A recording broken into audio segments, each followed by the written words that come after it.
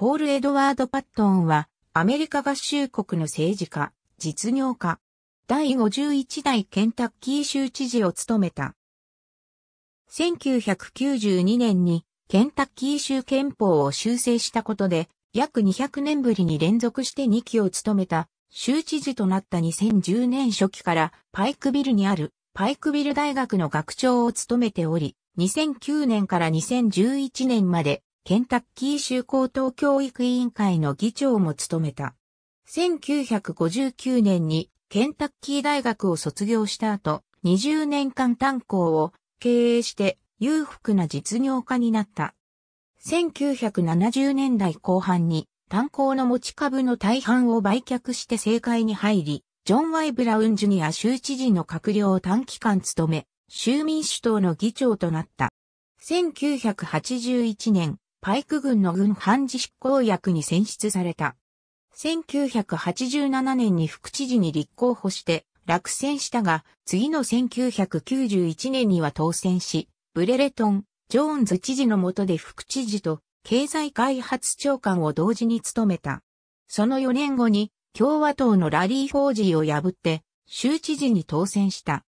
知事として1期目の主要な業績は、州立コミュニティカレッジと工業学校をケンタッキー大学とは独立にし、それらをケンタッキーコミュニティ工科カレッジ体系に組み込むなど、高等教育機関を点検したことがあった。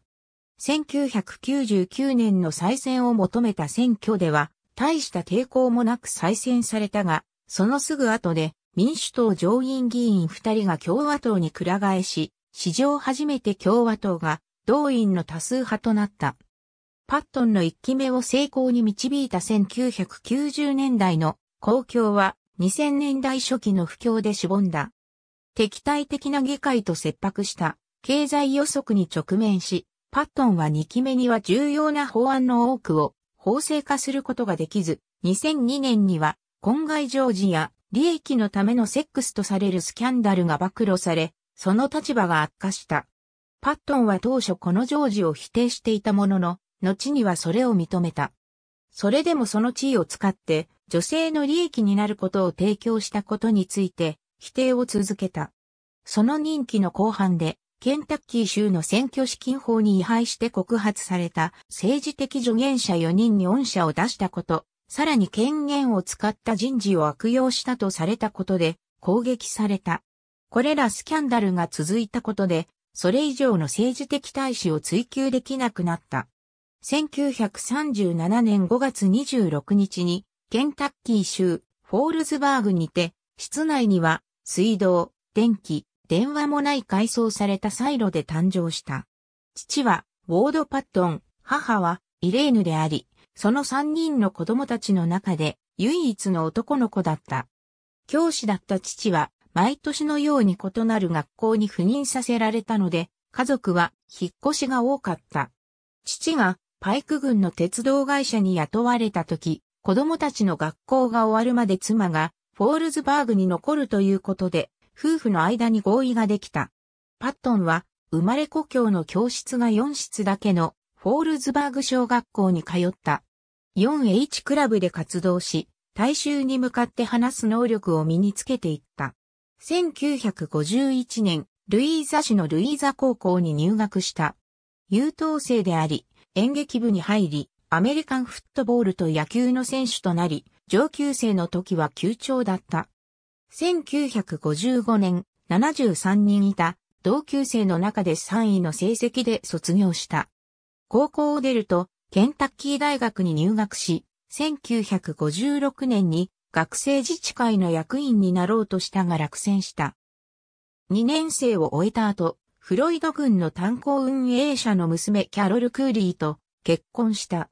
この夫婦には、ニッキとクリストファーという二人の子供が生まれた。パットンは大学を終えるために、義父から金を借り、1959年には、機械工学分野で工学士の資格を得た。後にルイビル大学から公共事業の名誉博士号を贈られた。パットンは大学卒業後、岐阜のために日雇い労働者として働いた。1961年、バージーに移転し、義兄弟と共に炭鉱会社を立ち上げた。1972年、シャパラル石炭会社を買収し、1973年の石油危機から生じた石炭ブームに乗って非常に金持ちになった。石炭産業の指導者となり、ケンタッキー州石炭協会の理事を務め、全米独立炭鉱運営者協会の理事長となり、ケンタッキー州深堀安全委員会の委員になった。連邦政府の1969年、炭鉱健康安全法を問題の診断は正しいが、治療法の処方は間違っていると非難した。1976年までに全米独立炭鉱運営者協会の会長になっていた。イースタンマウンテン丹田の最短方法を実質的に終わらせることになる、傾斜角度20度以上の斜面での露天掘りを禁止する、連邦規制に抗議し、州の石炭環境税に、ケンタッキー州の炭鉱に課された経済的不利を嘆いた。パットンは、労働組合に関わる炭鉱運営者の大半と比べて恩恵だとみなされていた。甲府たちの大半は組合に組織化されてはおらず、入っているものも対立的なアメリカ工業労働者連盟よりも南部労働者同盟に加入していた。シェルビーギャップのアメリカ工業労働者連盟の組合員は、パットンが1970年代後半にピックアップトラックでピケラインにいるストライキ中の甲府を抜き取っていったことで逮捕されたと言っていた。地元の警察はこの事件について何も記録を残しておらず、パットンに対する逮捕令状や実際の逮捕の記録はない。1976年10月18日、パットンは自分たちの結婚が取り返しのつかないほど壊れたとだけ言って、キャロル・クーリーとの離婚訴訟を起こした。1977年2月25日に離婚が成立した。その年の後半、パットンは自分のケンタッキールク法音鉱山の秘書で、パイクビル出身のジュディ・ジェイン・コンウェイと再婚した。1973年、コンウェイは最初の夫であるビル・ハーベイ・ジョンソンと離婚していた。前夫との間には二人の子供があった。パットンは州上院議員、ケルシー・フレンドから政治の世界に導かれ、フレンドがパットンを1972年、民主党全国大会の大議員にした。フレンドは、ウォルター、D. ハドルストンのアメリカ合衆国上院議員選挙のために資金を集めることも説得した。石炭ブームがしぼみ始めたので、パットンは1978年に石炭会社の持ち株の大半を売却した。1978年9月20日、マディソンビルでケンタッキー州第一選挙区選出のアメリカ合衆国会員議員で、パットンの友人の仲間であるキャロル・ハバードと会った後、1979年の州知事選挙に出馬することを検討し始めた。しかし、5月の予備選挙までに選挙運動を組織化する時間がないと判断することになった。パットンはハバードの支持を失いつつあると考えていることを示す文書がパデューカさんに漏れた。パットンは予備選挙でテリー・マクブレーの選挙運動に加わり、マクブレーが落選した後は、民主党公認候補になったジョン・ワイ・ブラウン・ジュニアを当選させるために働いた。ブラウンは当選し、パットンは交通省の長官補に指名された。ブラウンが石炭環境税を提案し、これに抗議するためにわずか3ヶ月でその職を辞した。1981年後半、ブラウンがパットンにケンタッキー州民主党の副議長になるよう求めてきた。パットンはヘンダーソン出身のデールサイツの下に仕えることになった。ブラウンは続いてパットンに計画の変更があったことを伝えてきた。ブラウンは自分の父、元アメリカ合衆国会員議員のジョン・ワイ・ブラウンシニアをサイツの代わりに議長に据えることに決めていた。ブラウンの助言者が、それは政治的に問題になることを認めさせた。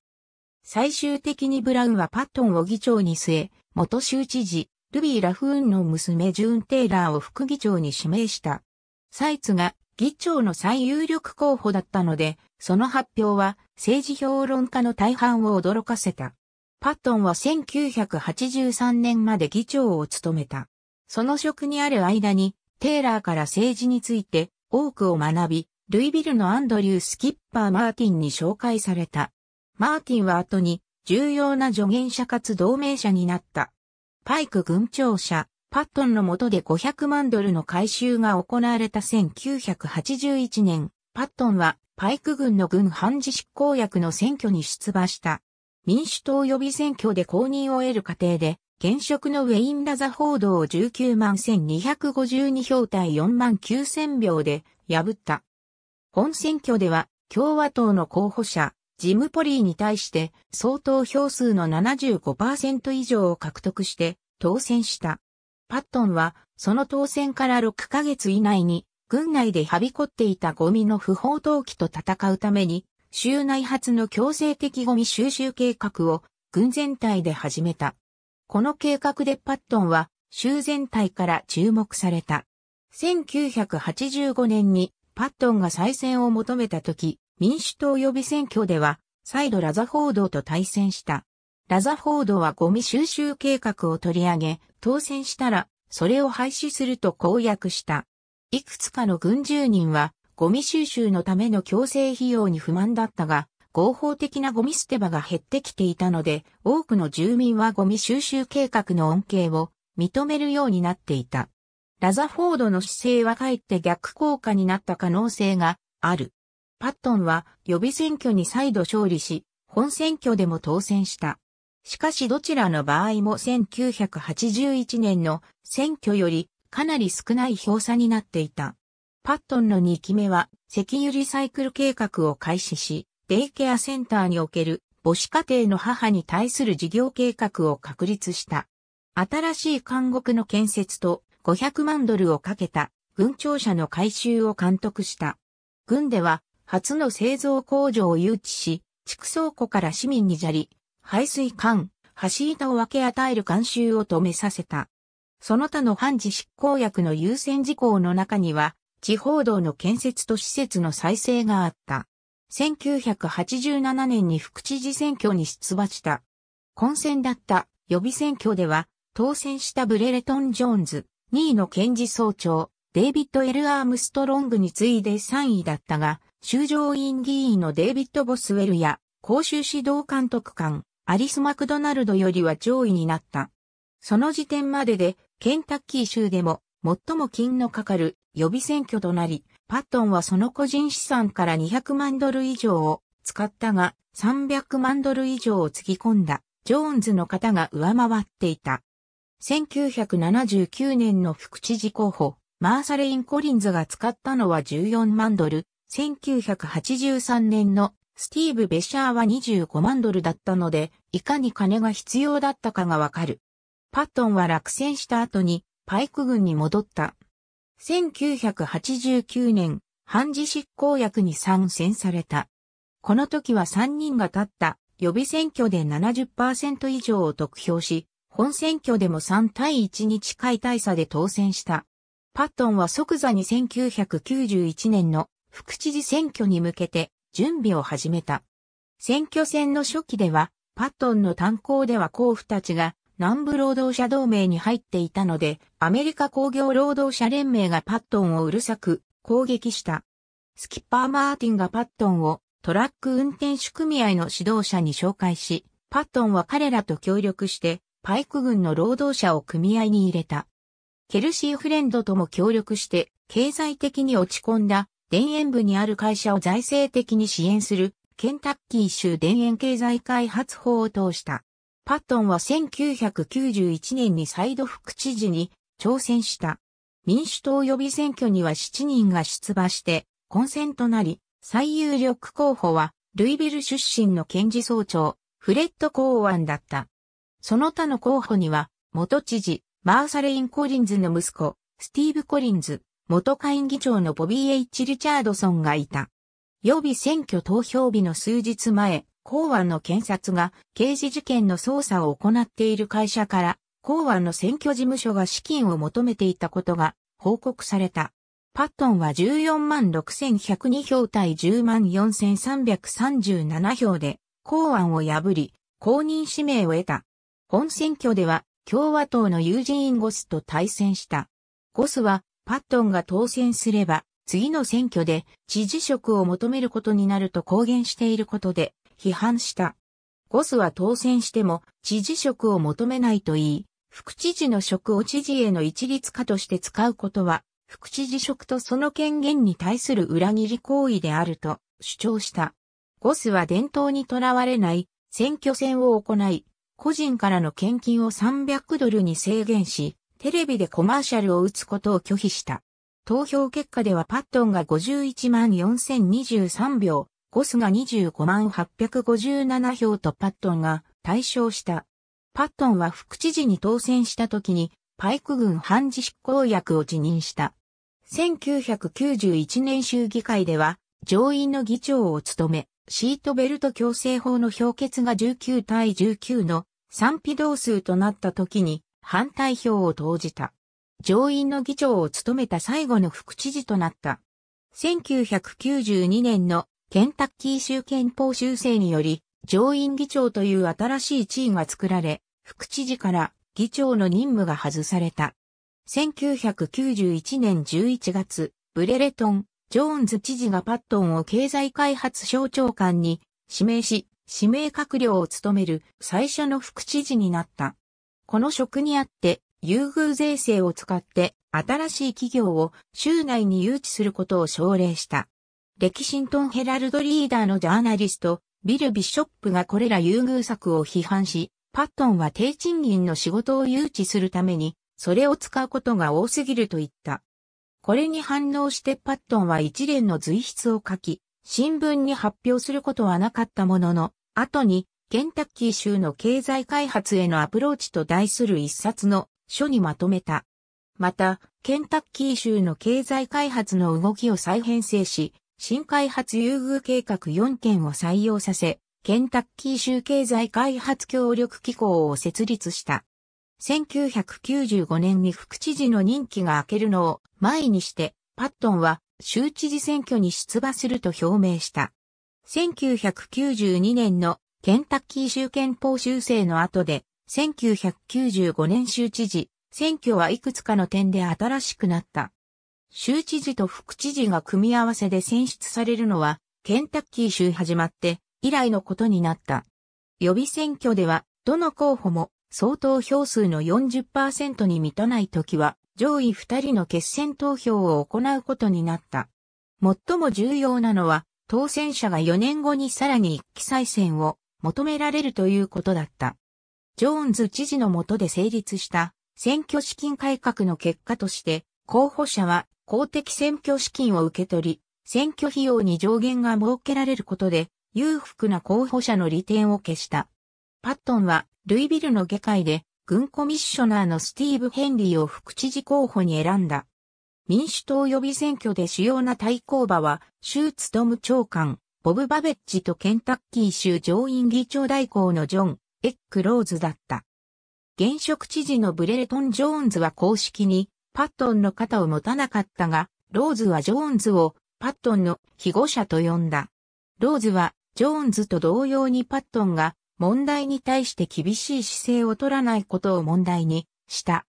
1991年の選挙でジョーンズに与えられたニックネームを引き合いに出し、あなた方がジェル王のジョーンズを好むなら、プディングのポール・パットンを愛する位置にいることになると言っていた。ローズにとって特に鼻持ちならなかったのは、パットンが公務員について団体交渉権を支持していたが、次の1996年議会ではそれについて戦うつもりはないと宣言していたことだった。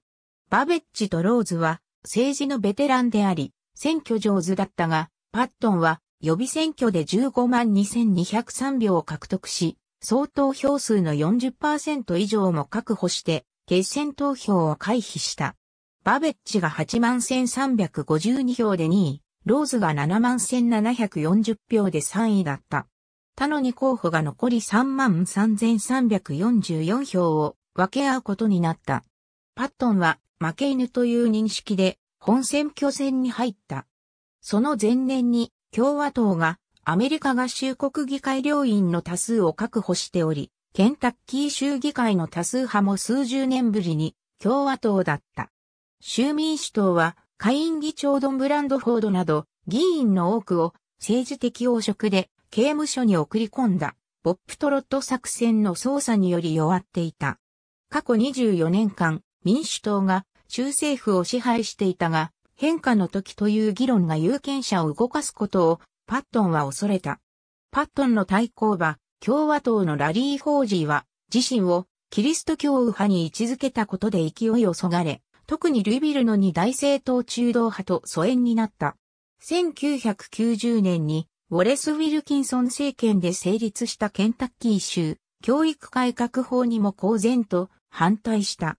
教育改革法の共和党支持者が共和党の選挙陣営を抜け出し、教育改革法を支持するに党連行を形成することになった。組織労働者やアフリカ系アメリカ人のように、伝統的に民主党の評伝はパットン支持についた。さらにフォージーの勢力を弱めたのは、アメリカ合衆国議会で高齢者に影響する計画のために共和党が予算削減したことをパットンが有権者に思い出させたことだった。投票結果ではパットンが50万787票を獲得し、フォージーの47万9227票を上回った。ケンタッキー州知事選挙では32年振りの接戦となり、1959年にバート・コームズが当選して、以来の東ケンタッキー出身知事となった。パットンはその政権早期に教育改革法を法制化する野望があったが、その財政助言者ジェームズ・アール・ラムジーが最初の会期には保守的な予算を提案するよう説得した。この二人は州政府を近代化し、より効率的なものにする計画を策定した。州職員は効率像について警戒心を抱いており、職員数を減らすための遠曲表現だと考えた。パットンは強制的な解雇は行わないことを約束して、その不安を一掃した。パットンはまた効率改善を実現させるために、装置や手続きに推計1億ドルを投資することに、議会を説得する難しさを予測してもいた。しかし、経済専門家が1996年の歳入超過を予測すると、パットンは、その超過分の半分を投資計画に使い、それと引き換えに残り半分を政府効率改善手段のために使うことに合意した。息子のクリスの推薦により、パットンは技術部を結成し、州の計算機システムの互換性と相互運用性を改善させた。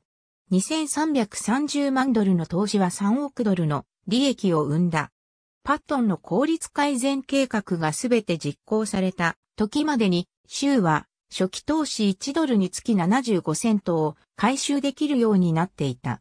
1996年12月、パットンは特別会期を招集して、労働者災害保障改革の問題を審議させた。パットンも、州議会も、州法の下で提供される寛大な給付金が、州内の事業には好ましくない環境を作ってきたと考えていた。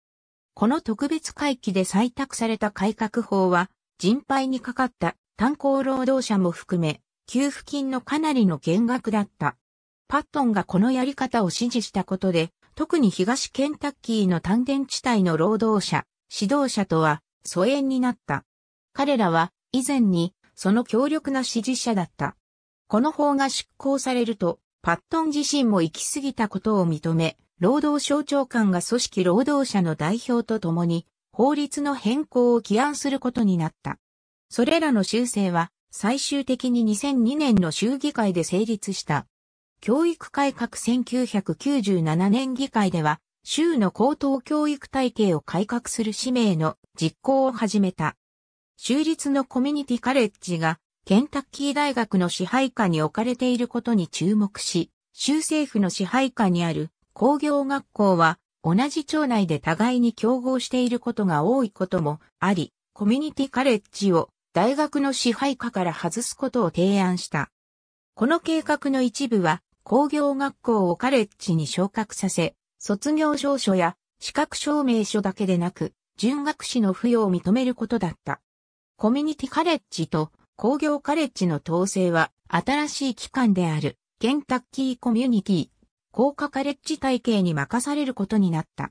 パットンはケンタッキー大学からコミュニティカレッジを分離することで、国内研究型大学、上位20決にも入るような資源の再配分ができると考えた。この計画には、ルイビル大学を全国的に認知される都市型大学に変えさせることも含まれていた。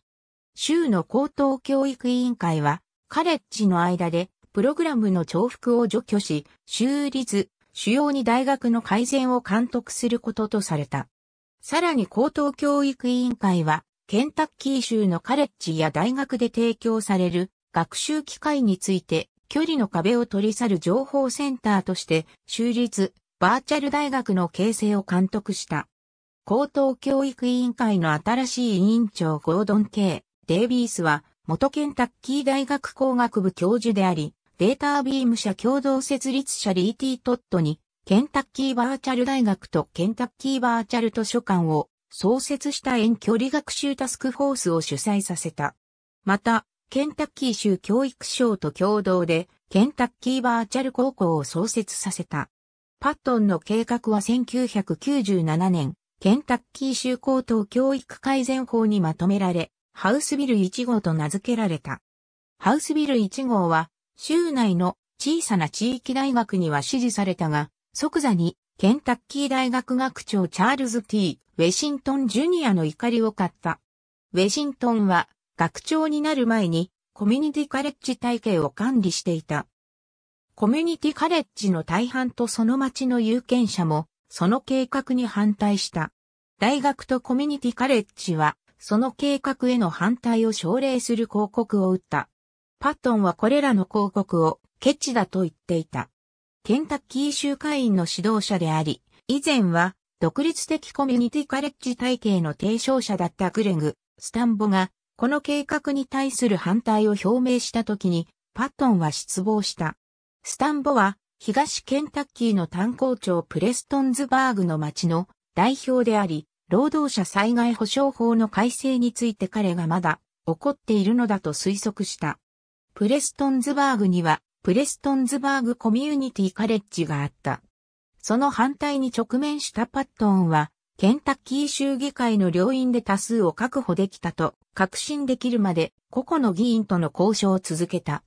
その後に計画を前に出して議会を通過させることができた。この勝利に加えて、その他の高等教育手段も成立させることができた。1998年議会では、州内の大学が特別プロジェクトのために研究者を指名して雇うことのできるための基金、研究挑戦信託基金の資金を手当てするために1億ドルの債券発行を提案した。この計画は後にバックスブレーンズと名付けられ、大学には基金の金額と同評価額の資源を活用させることを求めている。1998年議会では、ケンタッキー州教育優等生奨学金プログラムのための資金も承認した。これは、ケンタッキー州宝くじの利益を奨学金のための特殊基金に組み入れるものである。この奨学金を得るために、学生は高校で平均評価点2.5以上を上げ、ケンタッキー州のカレッジあるいは大学に入学するものである必要がある。奨学金は高校の学年、カレッジ入学試験の成績などの要素にスライドして決められ、カレッジでの成績が奨学金の総額に影響し、カレッジの8つの学期で更新される。パットンの教育改革は高等教育にのみとどまらなかった。ケンタッキー州教育改革法にも変更を求めており、法そのものを骨抜きにせずに批判を和らげることが意図された。ケンタッキー州教育改革法に関する大きな苦情は、国内他地域に比較した進度を判断するために、他州での成績と比較することができないことだった。上院でこの法に反対する者は、よりマシな方法が考案されるまで試験を除外する法案を通した。会員では、より穏健な方法が提案され、生徒が全国平均と比較できるような試験制度の要素を追加することだった。パットンは会員の案を支持し、それが協議会から提案され法制化された。パットン内閣がケンタッキー州教育改革法を強く支持したことで、パットンの任期中に議会から重大な異議申し立ても出てこなかった。唯一の例外は2000年に議会が教師の雇用に関して反縁故主義規定を撤廃しようとしたことだった。この法案は両院を通過したが、パットンが拒否権を行使した。高等教育改革法が通ったことで、パットンは1997年から1998年まで南部地域教育委員会の議長に選ばれた。1999年には週間教育委員会の議長に選ばれた。その他の教育関連組織もパットンの指導を求めた。全国教育ゴールズパネルの議長を務め、アメリカ合衆国教育長官からは高校上級生を研究する委員会の指導者に選ばれた。1998年議会で州は2億ドルの歳入超過となった。パットンはこの超過分を議会の同盟者に配分でき、その提案に対するかなりの手こ入れとなった。ある議会指導者は、金がかなりの沈黙を買っていると語っていた。議員たちはパットンが1999年に再選される可能性を恐れて、政権に反対することを躊躇してもいた。その結果、厳格な刑事犯罪法、改良経済開発計画、メディケードの改良、高等教育体系のさらなる改革など1998年の大変待望ある法制化案件の承認を得ることができた。パットンはまた、再入庁化分のいくらかを使って、公立学校の学級にコンピュータを配った。パットンが教育に関わること代だったので、ケンタッキー州は公立学校の各学級がインターネットに接続されたことでは、国内初の州になった。これを一旦達成してしまうと、パットンは教育省長官のエドフォードに、ケンタッキーバーチャル高校の開発を託した。これは、州内の小さな学校の生徒が大きな高校でのみ提供される外国語などの学科を受けられるようにする遠隔教育体系である。このバーチャル高校は2000年1月にオンラインで結ばれた。パットンの教育考慮の最後のハメイタは、成人教育の改良だった。この問題は性的である、共和党上院議員デイビッド・エル・ウィリアムズとの協業も可能にした。ウィリアムズは1997年から成人教育のための追加資源を提唱していた。1998年、パットンは成人教育タスクフォースの温度を自ら取り、その18ヶ月後にはタスクフォースの推薦がウィリアムズの提案した法案に盛り込まれた。この法案は成人教育の資金を増加し、均質化しており、個々のプログラムによって成功した業績に継続資金を結びつけるものであり、議会の両院を全会一致で通過した。2003年までに総合教育開発を終了した成人の数は17%増加し、カレッジに入学した受講者の数も13%から18%まで上がった。刑事司法改革、パットンの政策には、ケンタッキー州の少年司法体系の改革も入っていた。前任者ブレレトン・ジョーンズの下で、少年犯罪者の収容と待遇の仕組みのゆえに、ケンタッキー州は国内でも2州だけ、連邦の女性を得る資格のない州の一つだった。アメリカ合衆国司法省が挙げた問題点の中に、就職員による少年の虐待や、少年と成人犯罪者を分けて収容できないことが挙げられていた。ジョーンズ知事はこの状態を改善するために、同意判決を選んだが、その条件にしっかりと対応できる前に任期が明けてしまった。パットンは少年犯罪者を扱う就職員の強制訓練を実施させ、少年が虐待を匿名で報告できるホットラインを設定することで条件以上のものに進めた。少年受刑者の収容を地方の町から州に責任を移し、新しく少年収容所級箇所を建設した。2001年1月、アメリカ合衆国司法長官、ジャネット・リノが、ケンタッキー州の少年司法体系は国内のモデルになると宣言した。しかしパットンは少年司法体系だけでとどまらなかった。暴力犯罪者は、その判決の85%以上を服役することを求め、一方判事は、初犯の非暴力犯罪者には、家庭習慣も検討することを求める法の成立を奨励した。この法案は、判事が刑法犯に釈放なしの終身刑を宣告することも認めた。以前では、釈放なしの25年間禁錮が死刑の次に厳しい量刑だった。この法案は1999年に議会を通過した。前任知事ブレレトン・ジョーンズの時に有効になった憲法修正によって、パットンはおよそ200年ぶりに2期連続で州知事を務める資格があるものとなった。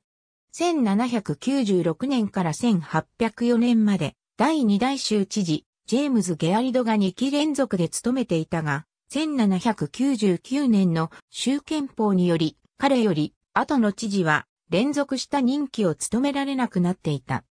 1796年、ゲアリドは選挙人によって選ばれており、選挙民によって選ばれたわけではなかった。よってパットンはケンタッキー州で初めて州民によって選ばれ、連続2期を務めた知事になった。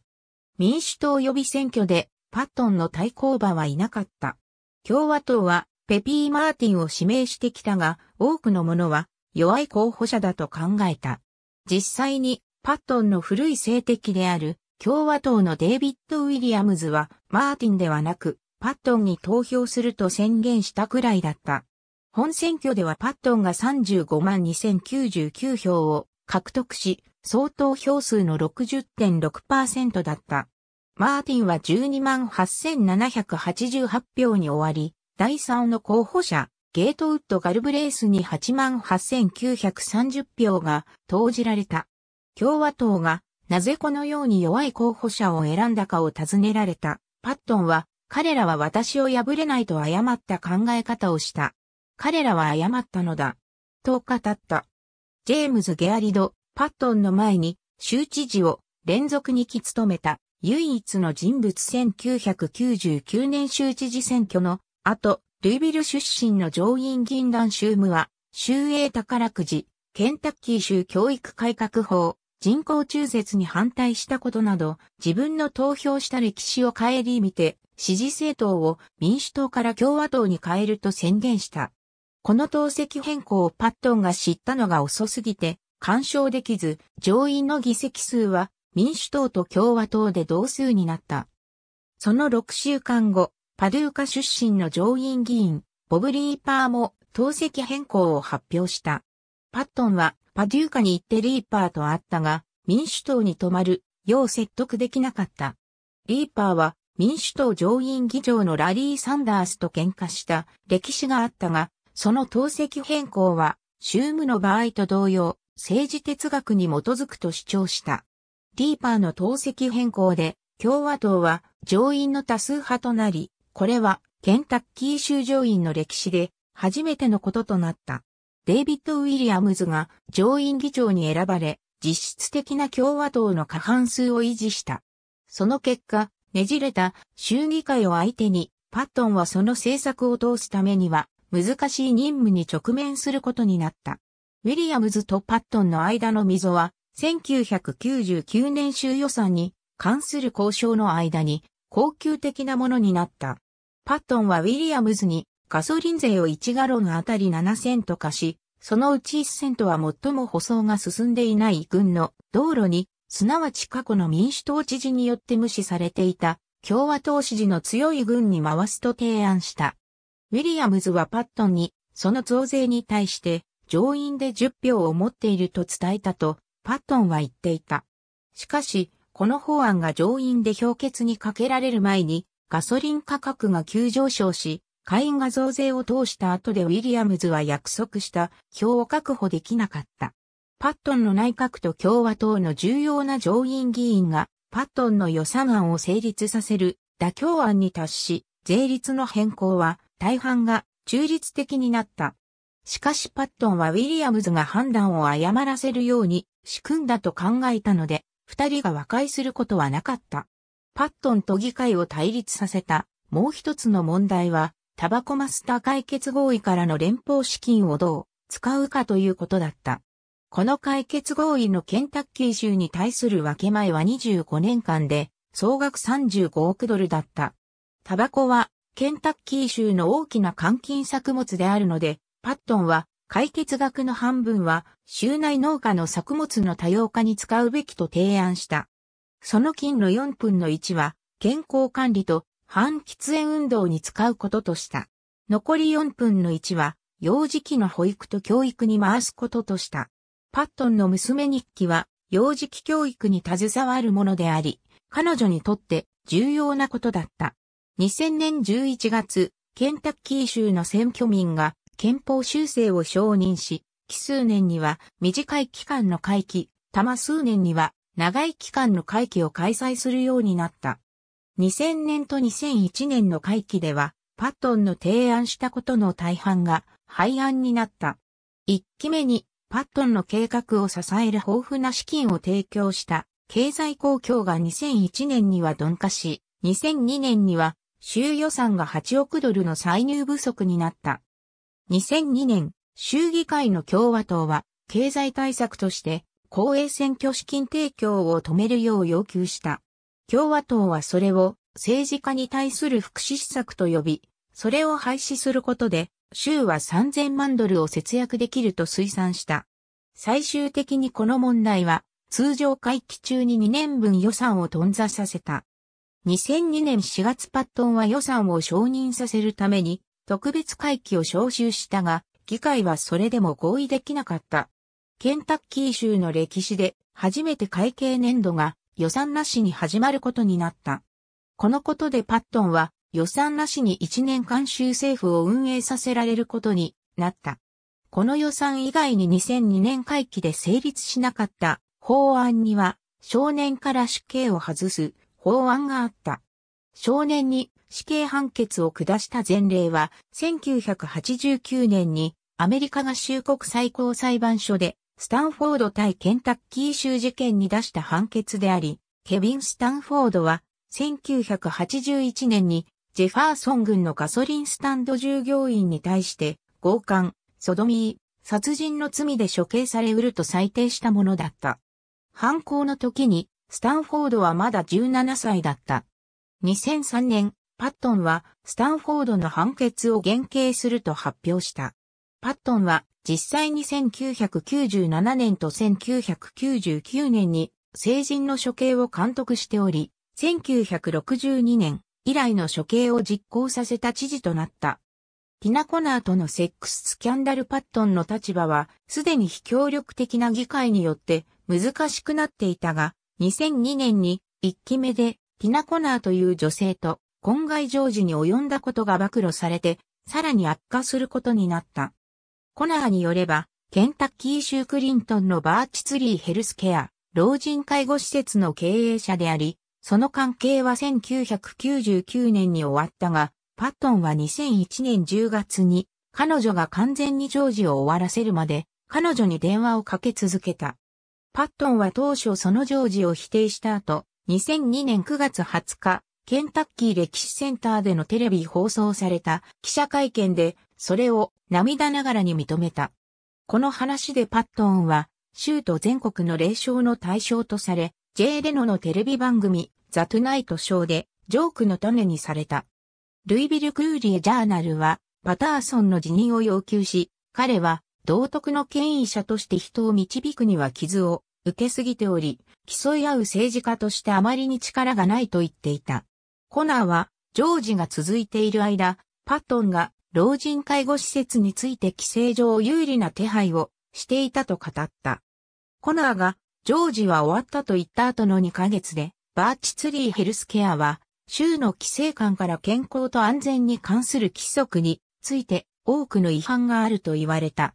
2002年7月までに、州は、この施設へのメディケアとメディケードのすべての支払いを止め、間もなく破産に追い込んだ。コナーはさらに、バーチツリーに対する州の捜査は、彼女がジョージを終わらせたことに対するパットンからの報復だと言った。コナーは別の件でパットンが彼女の所有する建設会社を助け、不利益な事業としての認証を得させたので、州の契約に対する入札ではこの会社が特に有利になったと主張していた。このジョージはパットンの結婚生活にも重荷となった。妻のジュディは州知事公邸で別の棟に住むようになったと報告され、パットンと一緒に大衆の前に現れるのも稀になった。パットン内閣の重要閣僚も辞任し始めた。財政助言者のジェームズ・ラムジーは、ルイビル大学学長になるために内閣を離れた。検事総長、ジャック・コンウェイは2002年、アメリカ合衆国議会選挙で、現職下院議員案ノーサップに挑戦するために辞任した。2003年1月、内閣秘書官クリット、ルアレンも辞任した。パットンは全国的な著名人になっており、南部知事協会、民主党知事協会、全国知事協会で連続して議長になった。ティナコナーのスキャンダルが暴露された時も、全国知事会議の議長をしており、2002年11月に議長を辞める計画だった。それでも他の知事たちがパットンの周りに集まり、その地位に止まるよう説得した。共和党員の副議長、アイダホ州のダーク・ケンプソーン知事と共に、大会を効率的に導き、州予算を支える連邦資金を確保し、メディケードについて集会が党派で割れないように気をつけた。コナーは2002年9月にパットンを訴え出た。2003年後半までにパットンに対する告発の一つを除いて全てが取り下げられ、残ったのは無礼な行為とされるものになった。2003年3月、州行政不倫理委員会がコナーの言い分を操作し、パットンを4件の倫理違反で告発し、パットンがその地位を使いあるいは使おうとして、コナーに利益を提供したと非難した。その利益には、コナーの不利益な事業申請に関して、州の運輸長官と接触したこと、コナーに交通違反ギップを払わせるのを避けられるよう、協力した役人に昇進を推薦したこと、コナーをケンタッキー州営宝くじの理事に指名したこと、コナーの当時の夫を農業開発委員に指名したことが挙げられていた。パットンは彼がコナーのために要請した利益は数多い有権者のために要請した利益と同じ種類のものだと主張した。また要請された利益のいずれからも財政的な利益を得ることはなかったとも主張した。有権者に対する自分の態度はあなたが法に沿ってまた倫理的にやれるなら彼らを助けるものだと言っていた。別のスキャンダル、議会に対する影響力の喪失全国的な経済状況の後退のために2003年にケンタッキー州は厳しい歳入不足に陥った。パットンは州税制の総点検を提案し、それによって税収が州の経済回復に調子を与えることになると言った。しかし、そのような改革は必ずしも税収増を意味せず、2003年州知事選挙が迫ってくる中で、二大政党の議員は増税しないという制約に厳密に固執することになった。その結果、2003年州議会で議員たちはパットンからの提案を完全に無視した予算を策定した。その予算には10年前に成立した選挙資金改革法案の撤廃が盛り込まれた。パットンは私は議会に影響を及ぼすためにいかなる能力もなくしたと敗北を認めた。パットンは知事として最後の数ヶ月でその庇護者権限を悪用して批判を浴びた。批評家は能力主義制度に乗らない職にあったその家族や友人を能力主義の地位に指名したことで新しい政権になった時にその地位に止まる可能性を増したとしてパットンを非難した。これらの告発は特にその年前半に州議会が予算の均衡化のために能力主義制度に乗らない職800人を削減するようパットンに命令しただけに影響が大きかった。レキシントンヘラルドリーダーは、これら告発がコーナー事件の告発よりも重大だったと述べていた。パットンは、その友人が能力主義の地位に申請して確保することために適切な人事手続きに従っていたと主張した。2003年6月、パットンは1995年の州知事選挙で選挙資金法に違反したことで起訴中の男性4人に恩赦を発行した。その起訴は当時候補者だったラリー・フォージによって告発されたことから始まったものであり、パットンがトラック運転手組合と州民主党の費用を調整することで選挙資金法の適用を回避したとするものだった。フランクリン軍大陪審は1998年に起訴したが、1999年に巡回裁判所判事が選挙資金法は曖昧に過ぎるという根拠でそれらを却下していた。翌年控訴裁判所がその判断を逆転させ、2003年にケンタッキー州最高裁判所が5対1の評決でその起訴を維持させた。アメリカ合衆国最高裁判所は2003年6月13日にこの控訴に対する審問を拒否した。その2日後、パットンは4人すべてに恩赦を発行した。州検事総長ベン・チャンドラーはこの恩赦によって、パットンが1995年に正直に公然と勝利したか否かを判断する可能性をなくしたと嘆いた。パットンは2004年に共和党アメリカ合衆国上院議員ジム・バーニングに対抗して出馬することを考えていると公表していたが、その任期末近くに起きたスキャンダルによって、その計画が阻害された。パットンは後継者の共和党員、アーニー・フレッチャーが当選した後で、パイクビルに引退した。パイクビルの第一長老派協会の会員、ビッグサンディ地域経済開発委員会の委員、パイクビルパイク郡工業経済公社の議長となった。ティナコナーのパットンに対する最後の告発は、無礼行為だったが、2006年5月に判事によって取り下げられた。2006年10月、コナーがパットンに対して2回目の告訴を行い、公人による違法行為と政府の抑圧を問題にしていた。フランクリン軍判事は、コナーは最初の訴訟から主張を再度提示しているだけだと言って、この訴訟を却下した。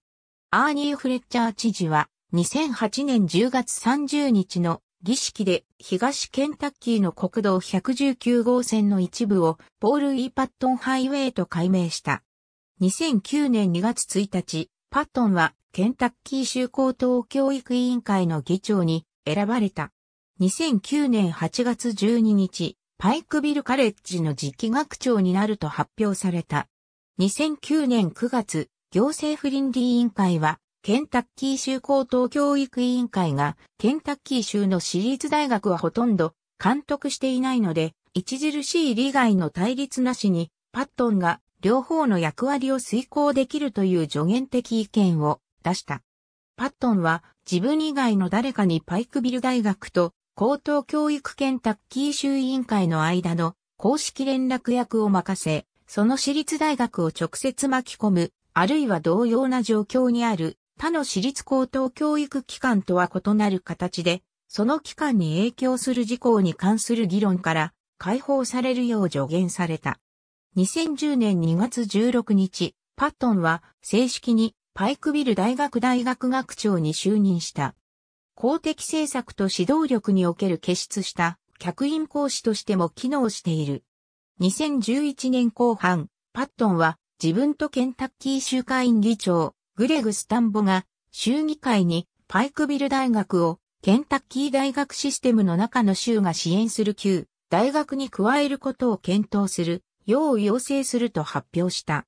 2011年12月30日、ケンタッキー州高等教育委員会からの辞任を発表し、2012年州議会で提案に関する利害の対立で告発される可能性を避けると言った。ありがとうございます。